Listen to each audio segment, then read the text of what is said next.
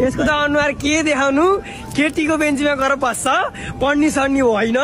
खालि केटीलाई कहाँ कहाँको ओसा गएको केटीलाई कहिले फोलान्छ कहिले नाग ए उहाँ भयो अब म चाहिँ यो ट्रेनबाट भर्खरै झरेको। अब यहाँबाट टक्क माथि जान्छु त्यहाँ कार्ड सार्ड स्क्यान गरेर आज मलाई त्यो दिदीले मलाई भात ल्याइदिनु भएको छ कि? भात चाहिँ कसो भने अब त्यो उस के भन्छ अरे काउलीको काउली आलु अनि त्यसपछि दाल अनि भात गरेर ल्याइदिनु भएको छ। टिफिनमा बिचरा हिजो टिफिन किनेर मेरो अगाडि काउली किनेर काउलीको तरकारी भाइलाई खुवाउँछु भनेर लास्ट माया गर्छु म फेरि नेपाली दिदी चेलीबेटीहरू लास्ट माया गर्छु कि त्यहाँ दिदीहरू हुनुहुन्छ होइन? जसले मलाई माया गर्छ